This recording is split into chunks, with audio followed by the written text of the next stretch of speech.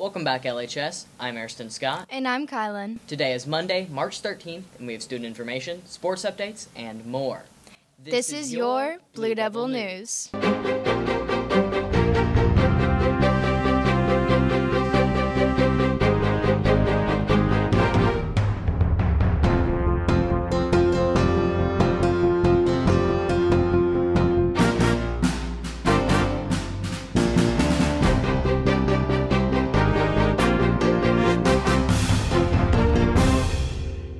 Prom ticket prices have officially been raised. They are now $65.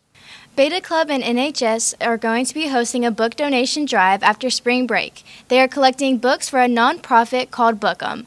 Book'em's mission is to create a more literate Nashville and spark kids' passions for reading through book ownership and ready to read volunteers.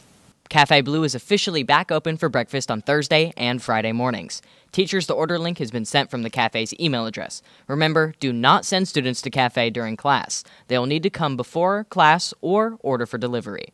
Remember, teachers, do not send a student without a life threatening health issue to the nurse without filling out a nurse request form. This is for privacy and safety concerns. Thank you. Today's ACT words are pensive and peril. Pensive is an adjective meaning to be engaged in, involving, or reflecting serious thought, and peril is a noun meaning to be in serious danger. Our annual book drive will begin later this week. Students can bring in books appropriate for ages 3 to 18 to any teacher of their choice. Teachers, if you want to be opt out of receiving books, you will need to reply to the email you were sent about the drive. Thank you.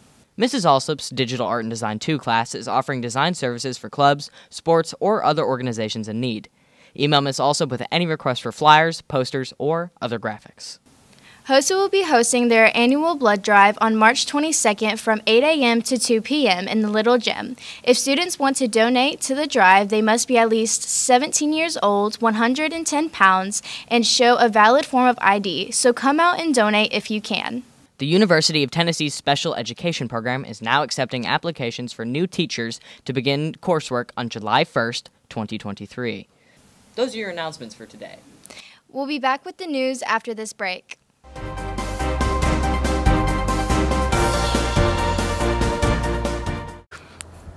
It is currently 35 degrees outside with a low of 32 and a high of 45. Back to you guys. Hi, I'm Alyssa and this is Rapid Fire.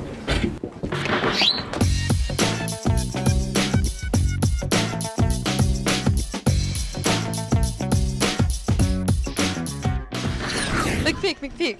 What's the name of the toy cowboy in Toy Story? Woody. What do caterpillars turn into? Butterflies. How many hearts does an octopus have? Four. Wrong, it has three. What planet is closest to the sun? Mercury. And what's the story behind the tennis ball? I'll tell you when you graduate.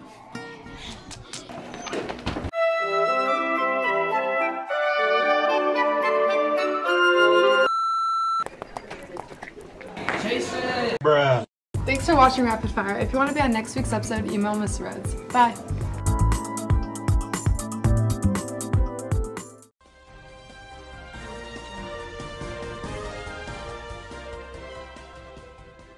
Thanks, guys. I'm Connor Gannon, and this is your sports update. Baseball is opening up their season with an away game at Blackman High School playing Independence High School. The game starts at 4:30 p.m. The Blue Devils starting pitcher is sophomore Cade Thorne. Come out and support your Blue Devil baseball team. Softball is also opening up their season with a home game against La Vergne High School at 6 p.m. Tennis has a match against Macon County at home. It starts around 3:30. The soccer team plays away at Riverdale. Varsity starts at 7. Try to go out and support your Blue Devils. The Predators beat the Anaheim Ducks yesterday 5 to 4 in overtime. The Predators play the Red Wings tomorrow at 7 p.m. And the Memphis Grizzlies play the Dallas Mavericks tonight at 6:30. That's all for your sports update. Back to you guys. And in some real world news, the global workforce has set their sights on a four day work week.